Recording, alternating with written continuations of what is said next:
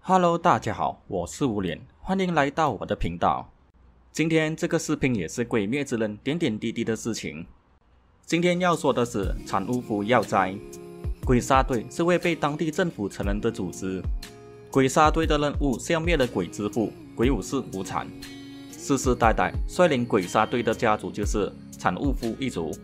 产物夫要灾是第九十七代当主，他具有超凡的魅力。并且还拥有许多忠实的部下。他的愿望就是杀了无惨，解除家族的诅咒。因为产物夫一族和无惨有关系，导致诞生的孩子们都体弱多病，没多久就死去了。你们了解产物夫要哉是怎么样的人吗？在影片还没有开始之前，还没有订阅我的频道的朋友，可以先订阅我的频道，还有开启小铃铛，这样你就不会错过我最新影片的通知。产屋夫要哉让人感觉他非常可靠，他说话的语气非常的成熟，但其实他才二十三岁而已。队员们的尊称他为主公大人，他称队员们孩子。他拥有强力说服人心的魅力，在鬼杀队中实力最强大的柱也对他非常忠诚。他每日都会到战死的队员墓前参拜。要哉身上有一个正在慢慢杀死他的诅咒，他的皮肤看起来就像腐烂。从他脸上蔓延到他的眼睛，他们代代都没有人能成功活到三十岁。那是因为产屋夫一族与鬼武士无产有着血缘关系。无产成为鬼之后，整个家族就受到了诅咒，生下的孩子全都体弱多病，没过多久就会夭折。虽然要斋逃离不了这个诅咒，但他还是很尽责的做一个好领袖。他每日都会到战死的队员墓前参拜。他对每一位的队员都非常的关爱，他拥有宽阔的心胸，待人很有礼貌，他深受队员们的信赖和尊敬。他活着的目标就是要打倒鬼，打倒无惨。他背负着一族的使命，无惨是他们一族的污点。体弱多病的要斋是不可能战斗的，但他拥有两个特殊能力。第一个特殊能力是他的声音，他的声音动作的节奏能够让对方心情舒爽。用现代语言来说，就是一百 F 震动，这是能够启动大众的人才拥有的能力。第二个能力是先见之明，能够看穿未来的力量。产物夫一族也靠这个能力累积了财富，好几次的规避了危机。妖灾也可以预测无产的来袭。妖灾的能力是从上一代继承下来，他的孩子灰利斋也会继承这个能力。妖灾四岁的时候就担任了鬼杀队的当主。他在小时候身体就非常的弱，甚至连挥剑十次都不到就倒下了。但他没有放弃自己该做的东西，他没有被诅咒打倒，他靠意志指挥了鬼杀队十九年。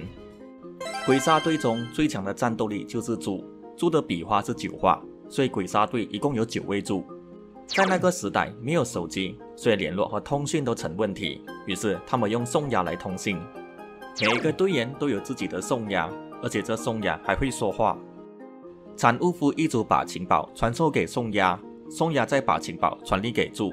鬼杀队构成就是产屋夫一族、柱和宋牙配合。为什么是乌鸦却要叫宋牙呢？在建筑屋子时候会用到一个金属零件，目的是要将木材和木材紧合在一起。宋就是那个金属零件，在一套房中需要柱来支撑，所以产屋夫和柱息息相关，还需要宋牙把它们联系在一起。这就是鬼杀队一直给长久的运作。要在珍惜所有队员，他也记住了死去队员的名字和背景。他每天都会到墓前和他们交谈，希望他们的灵魂能得到安息。他虽然是鬼杀队的领袖，他也知道自己不是很厉害，但他从来没有把队员当作棋子，也从来没有强迫队员尊重他。队员们只想打败鬼，保护人民，他们是发自内心尊重和效忠要灾。产怒夫天津是要斋的妻子，她二十七岁，比要斋大四年。她出生在神之一族，她的外貌非常漂亮。武一郎曾经形容天津是如同白桦树的妖精般的美人。他在队员的面前也深得他们尊敬。在练刀师之春篇，由于药斋病情恶化，在助会议上，他代替药斋执行助会议的主持。后来在无产袭击产屋夫家时，产屋夫要哉选择自爆，他和要哉一起葬身在火海中，但他是自愿跟要哉一起。他和要哉生下了五名孩子，长男产屋夫辉利哉，长女双胞胎产屋夫初一，次女双胞胎产屋夫日夏，三女双胞胎产屋夫行奈，三女双胞胎产屋夫匹方。他和耀哉第一次见面在十年前。当时耀哉才十三岁，天津十七岁。由于是家族的子婚，加上产屋夫家短命的宿命，耀哉对天津说：“如果你不喜欢的话，这件事就由我来拒绝。”天津因为耀哉这番体贴自己立场的话，决定和他结婚。产屋夫一族的男生的寿命非常短，所以一直装扮女性的身份抚养到十三岁。千年前，他们的血脉快要断绝的时候，产屋夫一族受到神主的建议。同血脉中出现了鬼，所以产禄夫一族一定要打败他。如此一来，一族就不会断绝。他们代代从神官的一族中迎娶妇人，孩子也不会那么容易死去。但即使如此，他们之中有没有人活过三十年？所以产禄夫一族对无产有极大的憎恨。产禄夫要哉初次登场是在助会议，炭治郎也被带到这里。要仔是要助认同炭治郎和祢豆子。但大部分柱都不认同他们，还是托要斩杀了米豆子。要在希望柱承认炭治郎他们，接着又宣读了浅水柱、玲珑、左京次寄过来的信件，以此让中柱信服。米豆子也通过了风柱对他的吸血试炼之后，要在宣布他们兄妹正式加入鬼杀队，并令中柱对这一结果心服口服。在后期故事中，米豆子克服了太阳，可以在太阳下自由活动。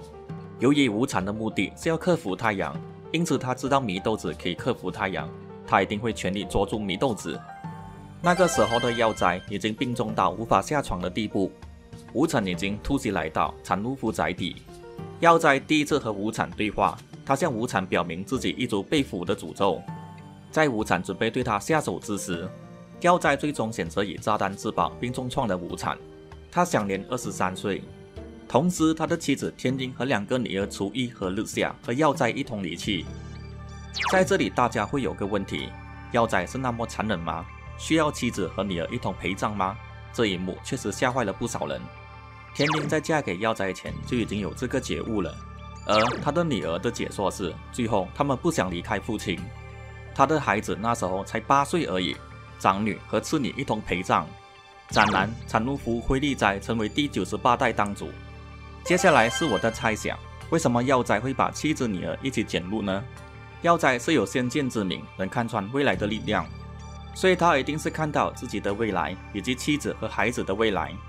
他知道无产会来到这里，所以他应该有时间叫妻子和孩子去避难，但他没有这样做。可能他看到未来妻子和孩子会惨死在无产手上，与其这样让无产惨杀，倒不如正面来面对无产。加上无产是个非常谨慎的鬼。如果屋内没有任何手绘或其他人在的话，他会产生怀疑，保持警惕。但是两个幼小的女儿在这里的话，那么将极大的放松无产的情绪而掉入陷阱。两个姐姐和母亲的死，让辉利在能在短时间内就变得坚强和成长。妻子和两个女儿是自愿的，他们要陪耀哉走到最后一刻，一切都是为了让这千年的诅咒结束掉。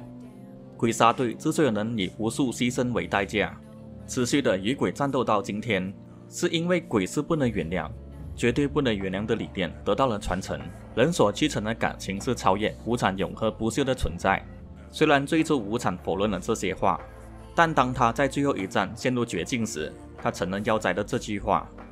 你们对于产物夫要斋有什么看法吗？他为什么要把家人也卷入呢？欢迎你们留言告诉我。那我们下个影片见，拜拜。